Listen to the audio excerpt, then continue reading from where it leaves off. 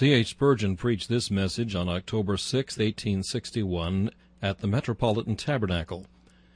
It is entitled God's First Words to the First Sinner.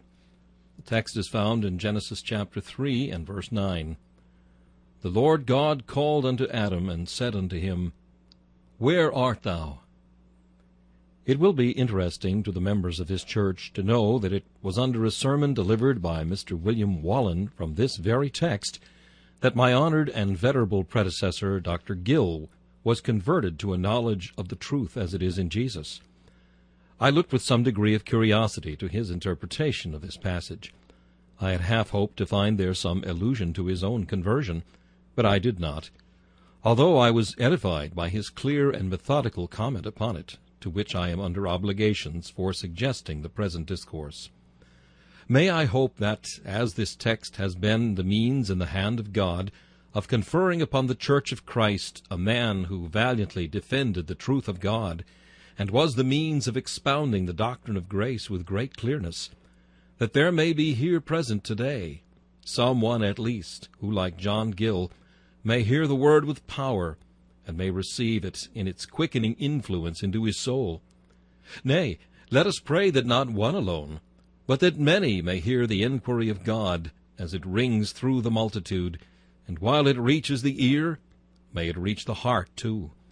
And may some be brought before God in answer to the question, Where art thou? and receive the assurance of pardon, and go on their way in peace.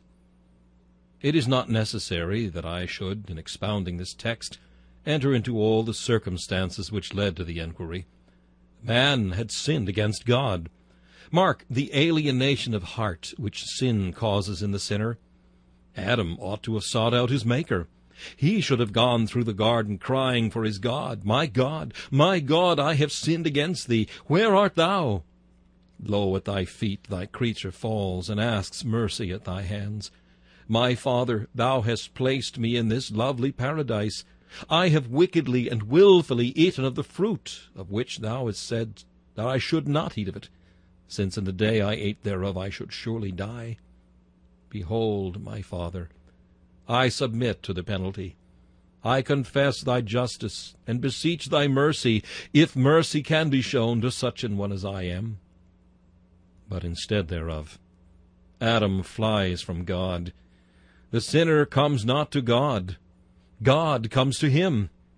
It is not, My God, where art thou? But the first cry is the voice of grace. Sinner, where art thou? God comes to man. Man seeks not his God.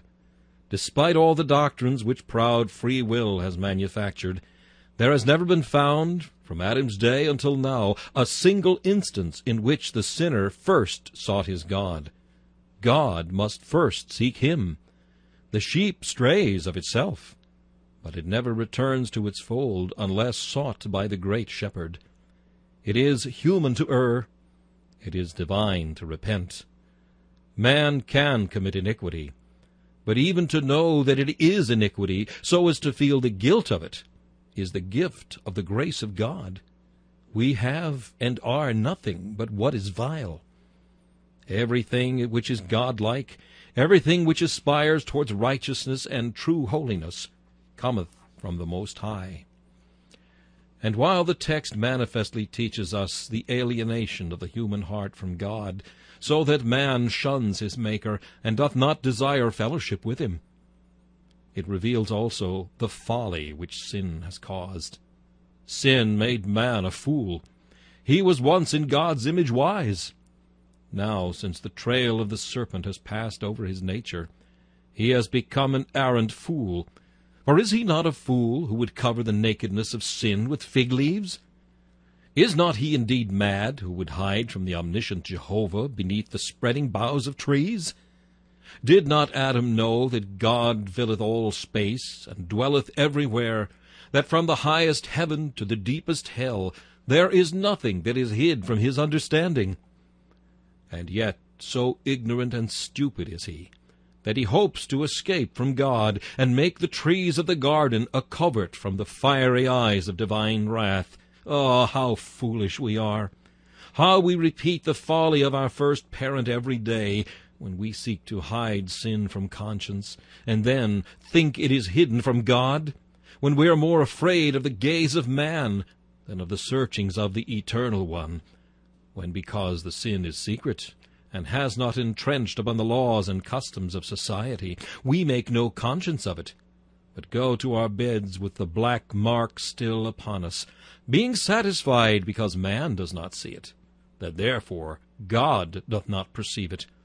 O sin, thou hast made man ask the question, Whither shall I flee from thy presence?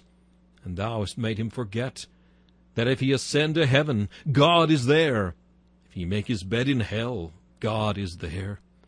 And if he say, Surely the darkness shall cover me, even the night shall be light about him. But now the Lord himself comes forth to Adam, and note how he comes. He comes walking.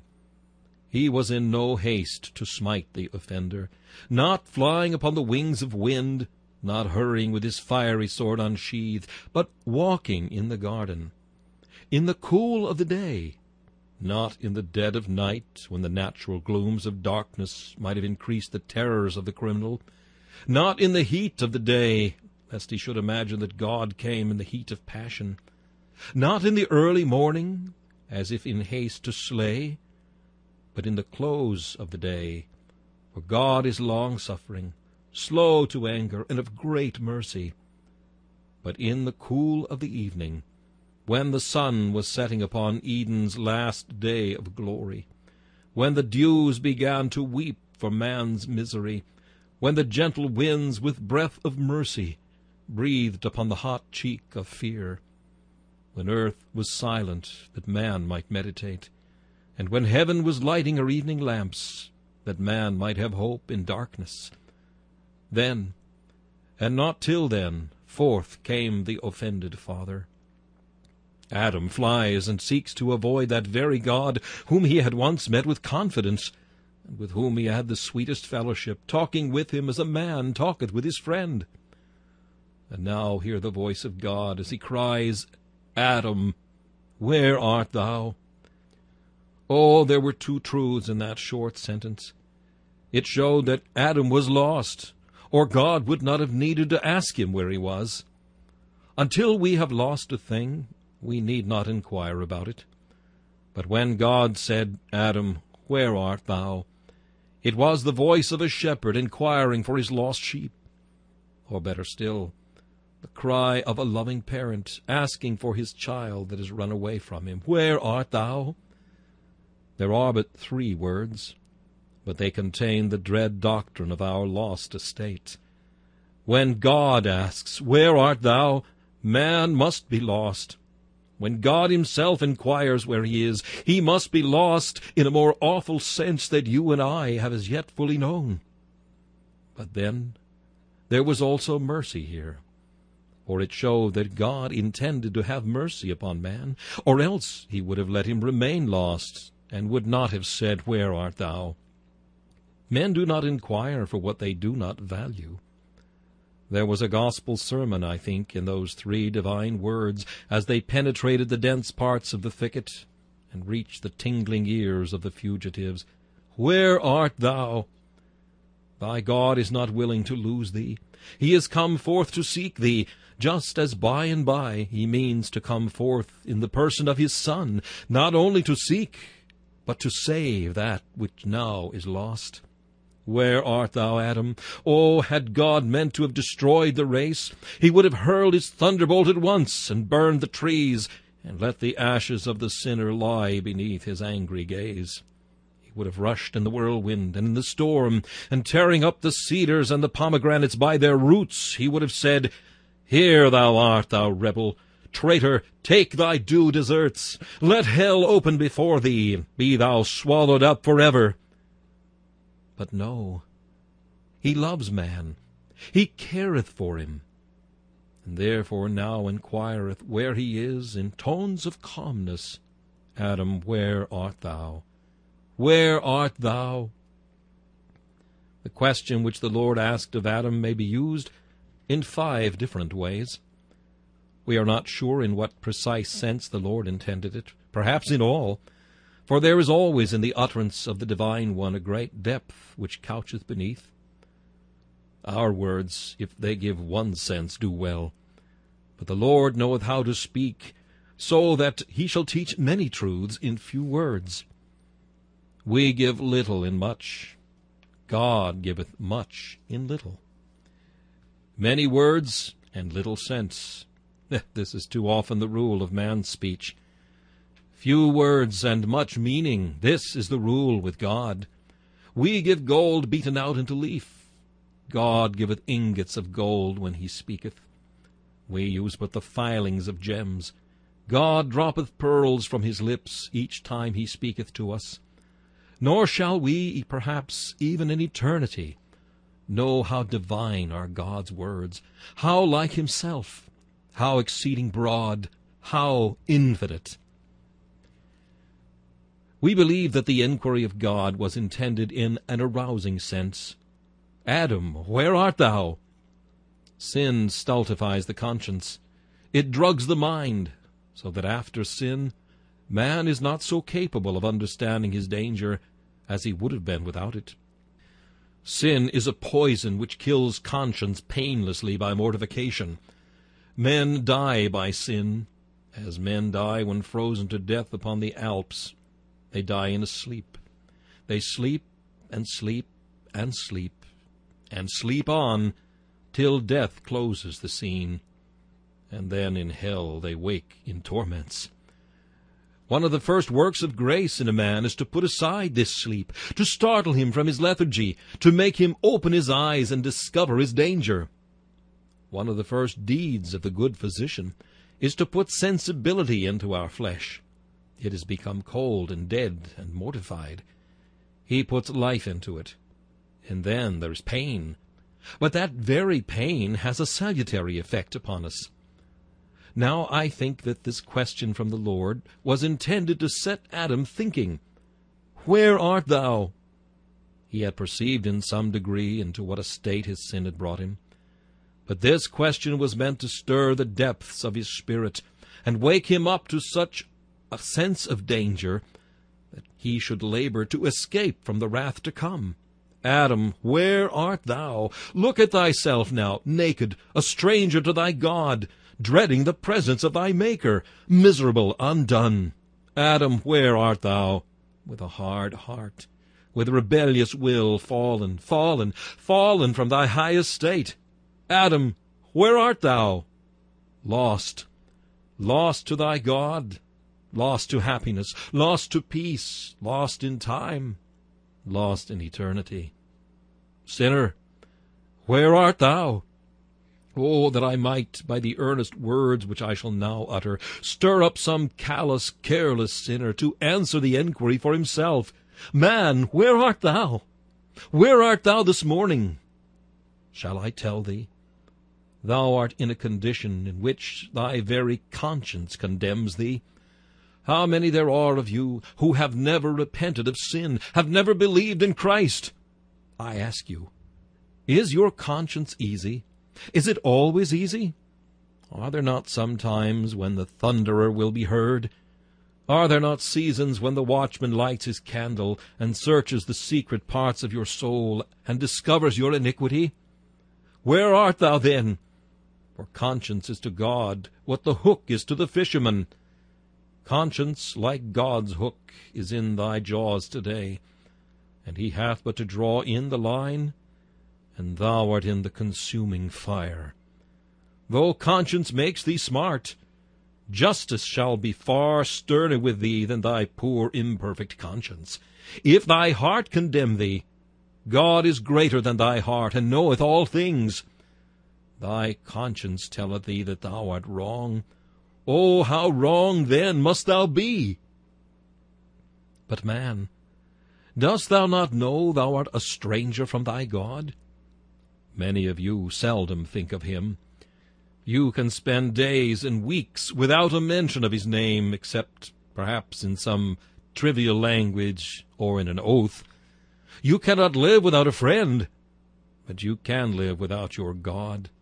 You eat, you drink, you are satisfied. The world is enough for you. Its transient pleasures satisfy your spirit. If you saw God here, you would flee from him. You are an enemy to him. Oh, is this the right case for a creature to be in? Let the question come to thee, Where art thou? Must not that creature be in a very pitiable position who is afraid of his Creator? You were made to glorify him. You were made to rejoice in his presence and to delight in his goodness. But it seems you love not the very food which was meant to sustain you. You must be sick. You must be sick indeed. Where art thou? Remember, the Almighty God is angry with thee. His commandments, like so many guns charged to the very muzzle, are all pointed against thee this morning. And it needs only the uplifted finger of the Divine One, and they shall soon destroy thee, and break thee in pieces. Would a man be comfortable with his neck upon the block, and the axe gleaming above his head? It is your case today. You are in the position of the courtier at the feast of Dionysius, with a sword over your head, suspended by a single thread. Condemned already! God is angry with the wicked every day. If he turn not, he will whet his sword. He hath bent his bow and made it ready. Where art thou, O man?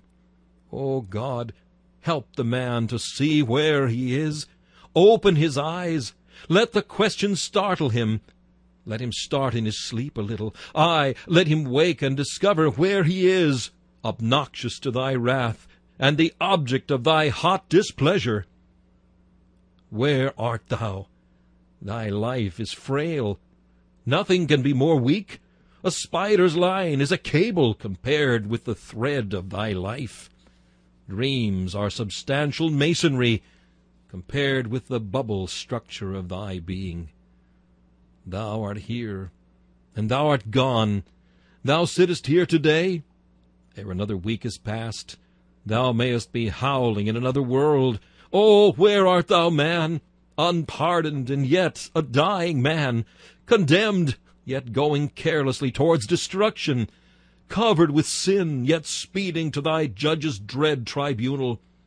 Lost here, yet hurrying on, each moment bearing on eagle's wings to the place where thou shalt be lost eternally. How hard it is to bring ourselves to know ourselves. In other matters, if a man be a little sick, he seeks his doctor, and would know his position. But here a man says, Peace, peace, let well alone. If we fear that our personal estates are at all in jeopardy, we have anxious nights and toilsome days. But oh, our souls, our poor, poor souls! We play with them as if they were worthless counters, or bits of platter, which a child might pick up in the streets and cast away.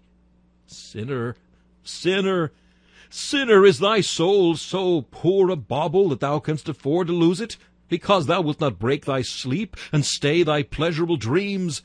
Oh, if a brother's heart can move thy heart, and if a brother's voice can wake thy sleeping eyes, I would say, What aileth thee, O sleeper? Arise and call upon thy God. Awake, why sleepest thou?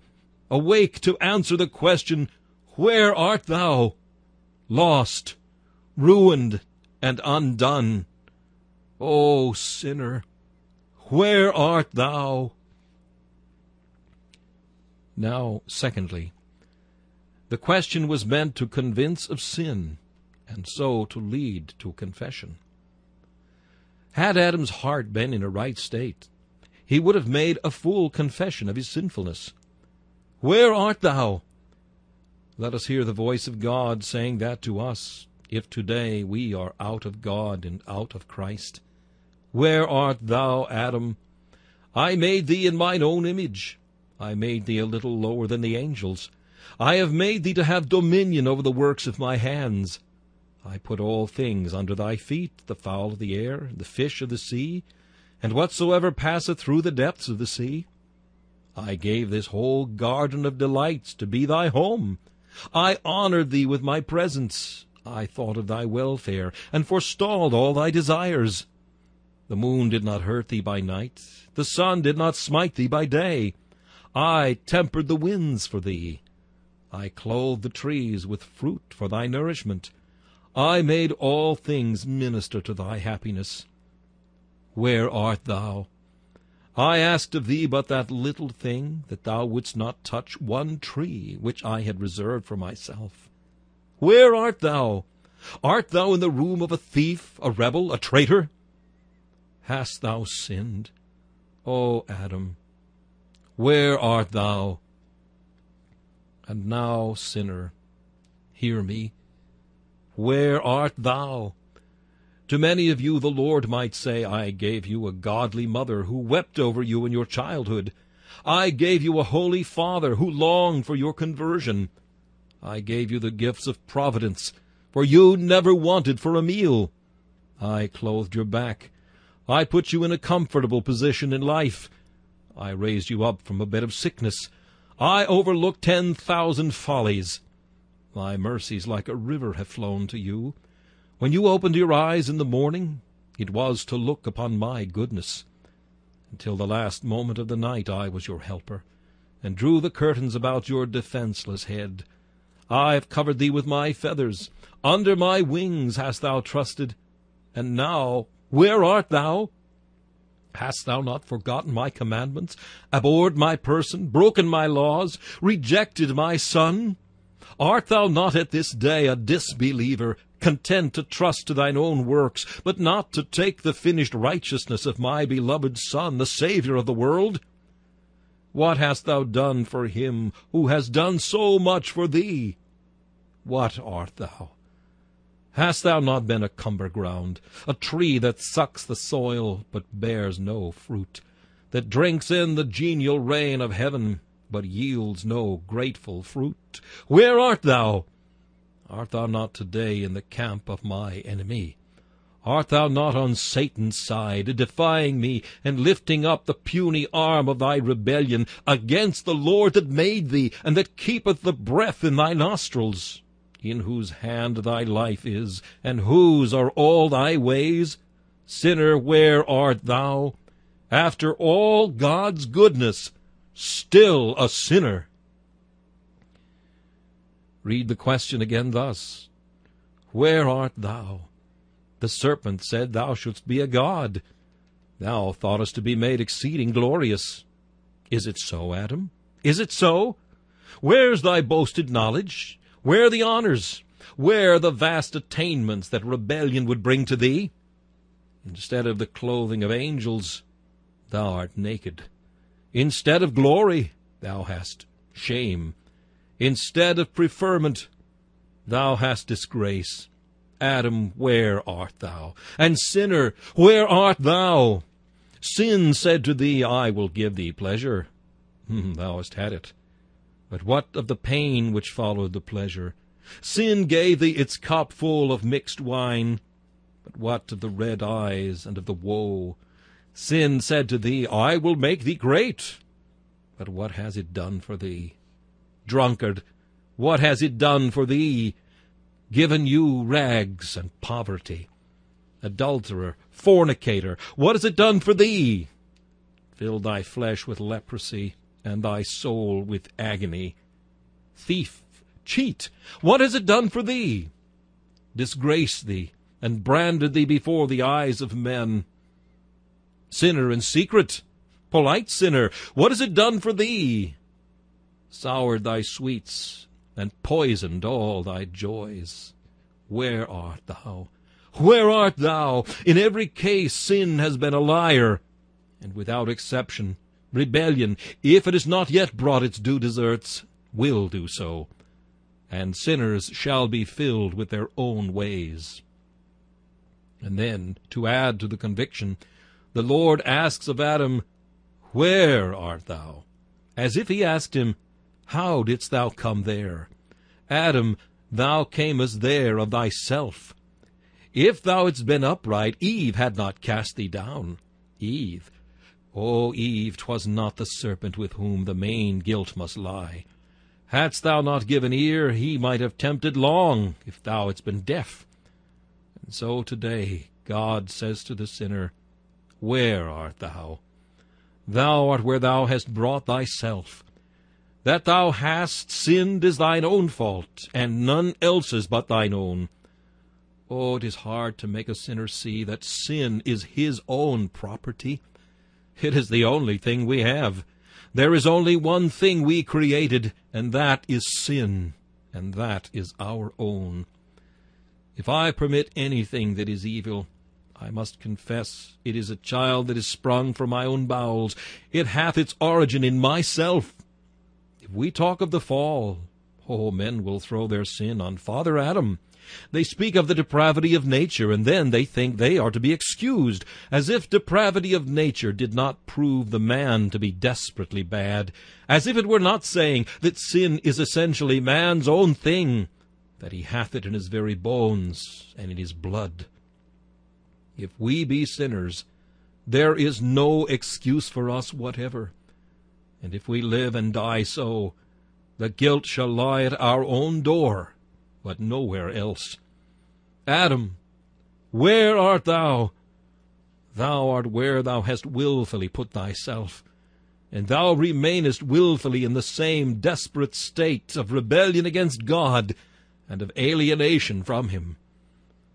I would God that something would not only arouse the sinner this morning, but work conviction in him, it is easier to make a man start in his sleep than to make him rise and burn the loathsome bed on which he slumbered.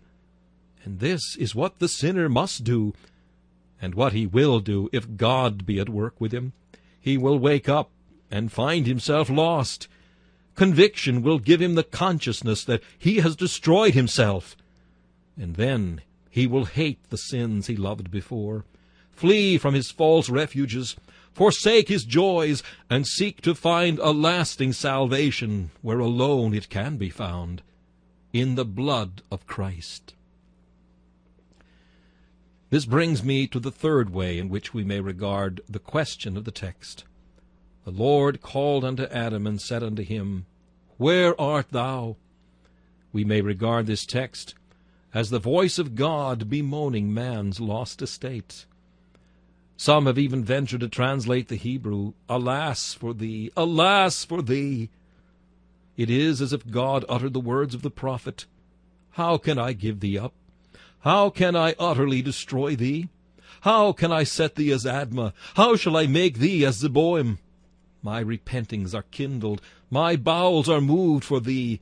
Where art thou, my poor Adam? Thou didst talk with me, but now thou hast fled from me. Thou wast happy once. What art thou now? Naked and poor and miserable. Thou wast once in my image glorious, immortal, blessed. Where art thou now, poor Adam? My image is marred in thee. Thine own father's face is taken away, and thou hast made thyself earthy, sensual, devilish. Where art thou now, poor Adam? Oh, it is wonderful to think how the Lord felt for poor Adam. It is taken for granted by all theologians that God can neither feel nor suffer. There is no such thing in the Word of God. If it could be said that God could not do anything and everything, we should say that he was not omnipotent. But he can do all things, and we have not a God that cannot be moved. But we have one who feels, and who describes himself in human language as having a father's bowels and all the tenderness of a mother's heart.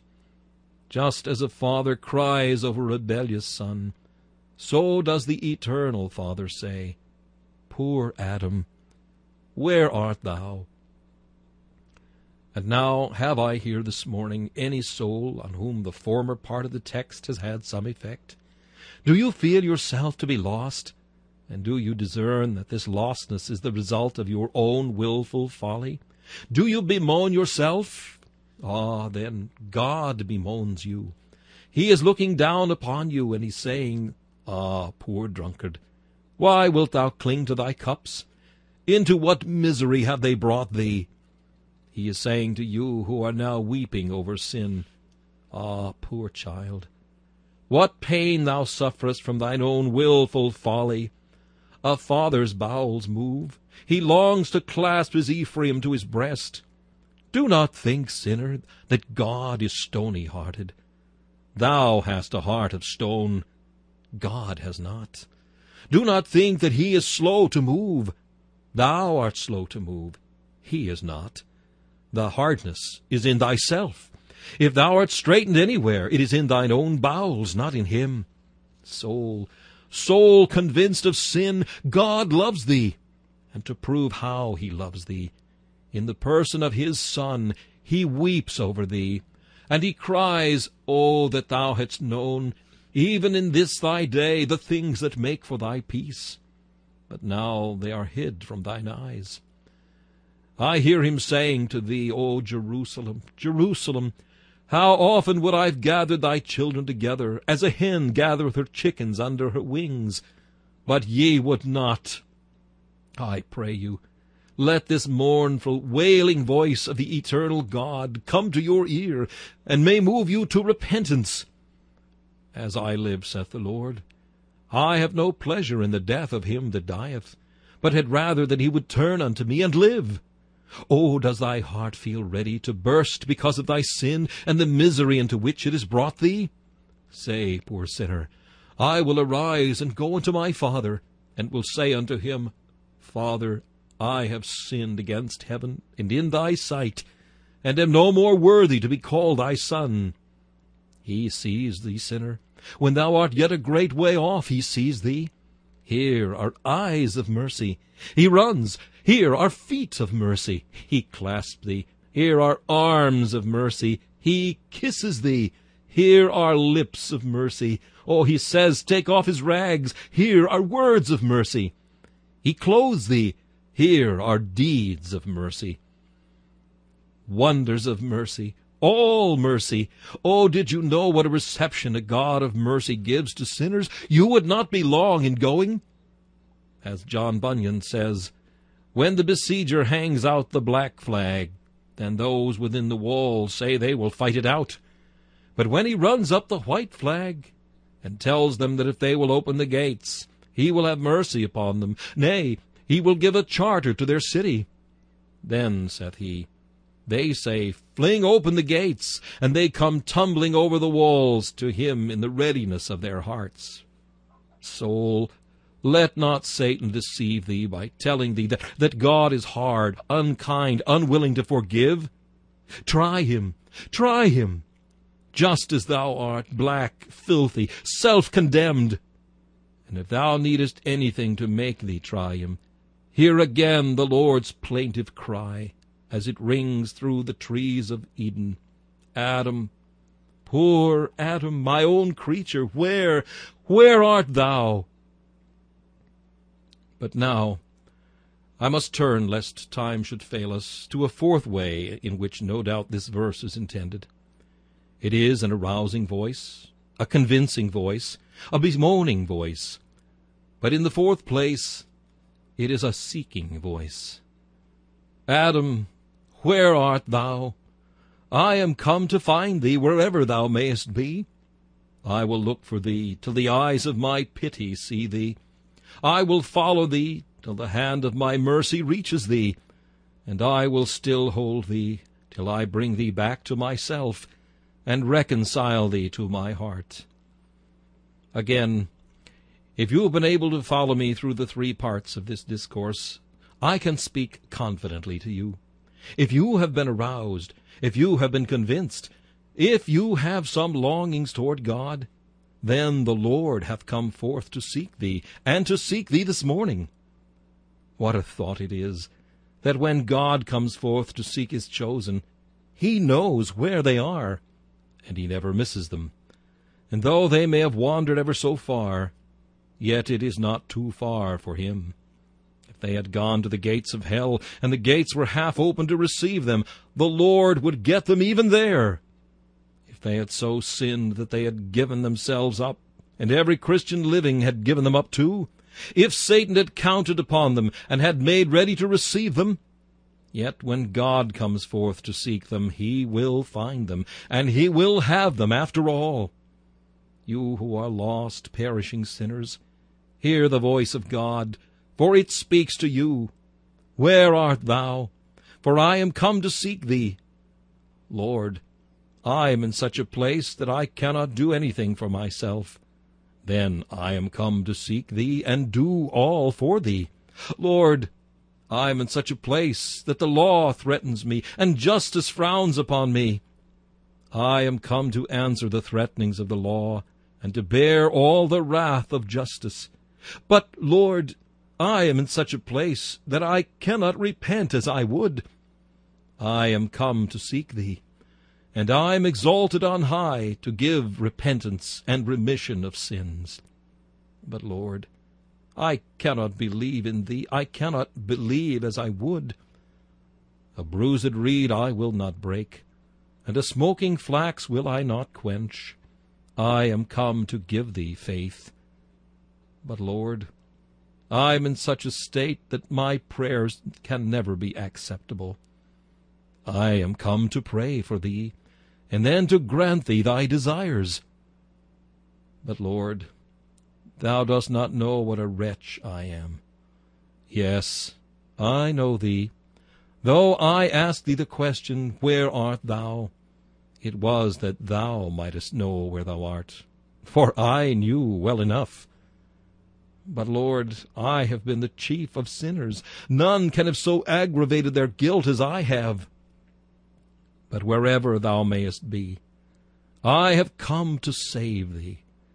But but I am an outcast from society. But I am come to gather together the outcasts of Israel.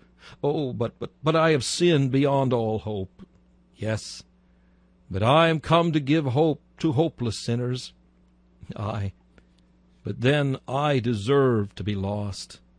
Yes, but I have come to magnify the law and make it honorable, and so to give thee thy deserts in the person of Christ and then to give thee my mercy because of his merits.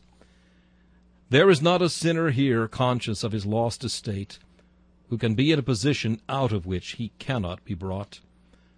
I will conceive the worst of all the worst, the vilest of all the vile. We will bring up those who have taken high degrees in the devil's synagogue and become masters of iniquity. But still if with a tearful eye they look alone to the wounds of him who shed his blood for sinners, he is able also to save them to the uttermost that come unto God by him. Oh, I cannot preach this morning as I would, nor can you perhaps hear as you would wish. But may the Lord speak where I cannot, and may he say unto some despairing sinner here, Soul, my hour is come. I will pluck thee out of the horrible pit, and out of the miry clay. In this day, and at this very hour, I will set thy feet upon a rock, and I will put a new song into thy mouth, and I will establish thy goings. Blessed, blessed be the name of the Most High, if such may be the case. And now, lastly, we feel sure that this text may be used, and must be used, in another sense. To those who reject the text as a voice of arousing and conviction, to those who despise it as the voice of mercy bemoaning them, or as the voice of goodness seeking them, it comes in another way. It is the voice of justice summonsing them.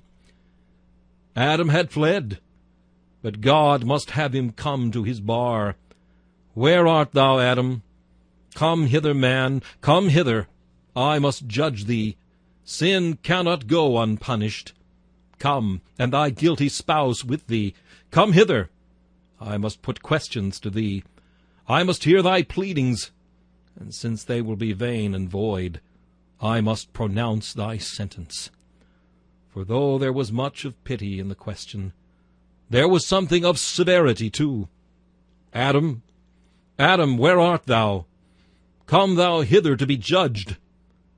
Today you hear not that cry. It is mercifully postponed. You shall hear it soon.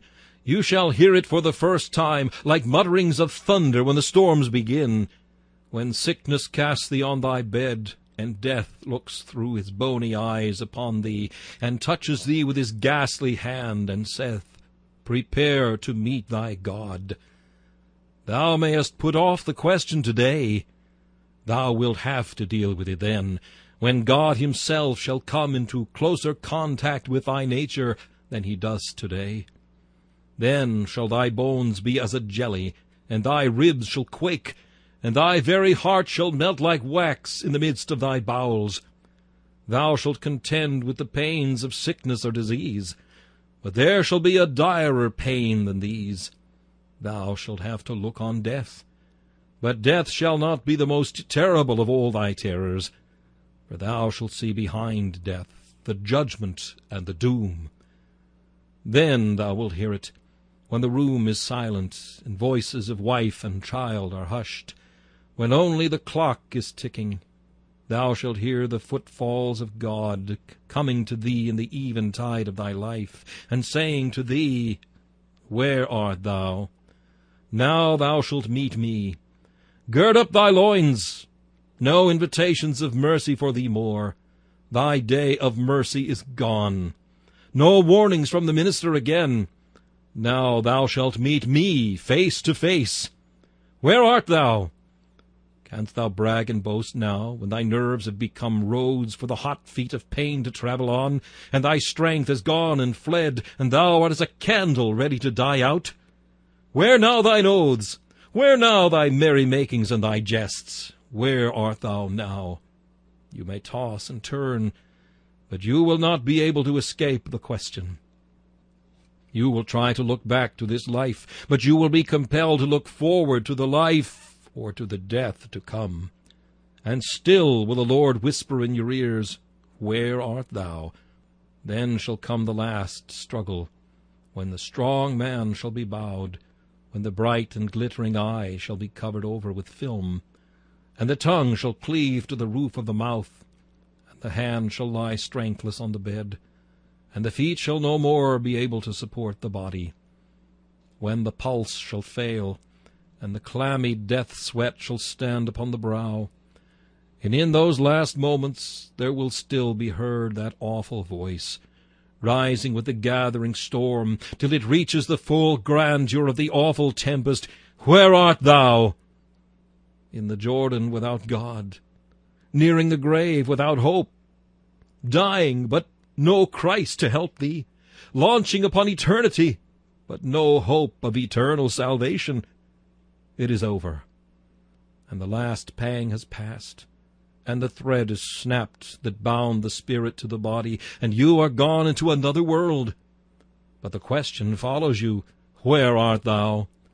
Thy spirit is now awake, it sleeps no more. It is rid of the dull flesh that kept it sullen, stolid, stupid, dead. Now it hears that voice indeed, and it thrills through and through the spirit, for the soul is brought before its God. Where art thou? Where art thou? cries the quickened conscience. God answers it, Depart, thou cursed one. The spirit departs from God, not to hide itself among the trees of the garden, but to plunge itself into waves of agony. And now Many years have passed, and the body, though the soul has been alive and has suffered, has been sleeping in the grave, and the worms have devoured it. But hark! The day of judgment, the day of thunder has arrived. Shrill above all thunders sounds the awful trump. And after the trump comes the voice, Awake, ye dead, and come to judgment. Amidst that awful tumult has heard the cry, Where art thou? The angelic messenger has found out your body, and from the grave your body starts, from underneath the greensward. Up it leaps in answer to the question, Where art thou? And to its horror, its ghastly spirit comes back. Its soul that long has suffered returns into the resurrection body, and they twain, comrades in sin, are now companions in judgment. The cry rings forth once more, and that very ear shall hear it that now listens to me. Where art thou? Then comes the great white throne, and those very eyes shall see it that now gaze on me. And then comes the commencement of the dread assize, and that heart shall quail then which moves not now. Then shall come your own personal trial, and oh, sinner, sinner, it is not for me to describe your terror. I could not give even the faintest picture of that death sound, and of the death of your immortal spirit while you hear it. I was an hungered, and ye gave me no meat. I was thirsty, and ye gave me no drink. Inasmuch as ye did it not to one of the least of these my brethren, ye did it not to me. And these shall go away into everlasting punishment, but the righteous into life eternal. O earth, earth, earth, hear the word of the Lord. I pray each of you to hear it for yourselves. I have not talked to you of dreams. You know they are realities. And if you know it not now, you shall ere long. I do beseech you by the blood of him that died for sinners. And what stronger argument can I use? Think of the question, Where art thou? May God show you where you are. Hear the bemoaning voice of God, as pityingly he weeps over you. Seek his face, for he seeks you. And then you need not dread to hear him say at the last, Where art thou? But you will be able to say, Here am I, and the children thou hast given me. We have washed our robes and made them white in the blood of the Lamb. And, Father, here we are, hoping to dwell in thy presence forever and ever. Oh, that I could plead with you as a man pleadeth for his life! Would that these lips of clay were lips of fire, and this tongue no more of flesh, but a live coal taken with tongs from off the altar. Oh, for words that would burn their way into your souls! O oh, sinner, sinner, why wilt thou die? Why wilt thou perish? Man, eternity is an awful thing and an angry God is a dreadful thing, and to be judged and condemned, what tongue can tell the horror? Escape for thy life, look not behind thee, stay not in all the plain, escape to Mount Calvary, lest thou be consumed. Believe on the Lord Jesus Christ, trust him with thy soul, trust him with it now, and thou shalt be saved and thy house. This message, God's first words to the first sinner, was preached by Charles Haddon Spurgeon on October 6, 1861. This is Charles Kelsch inviting you to join me again for another message from the Prince of Preachers.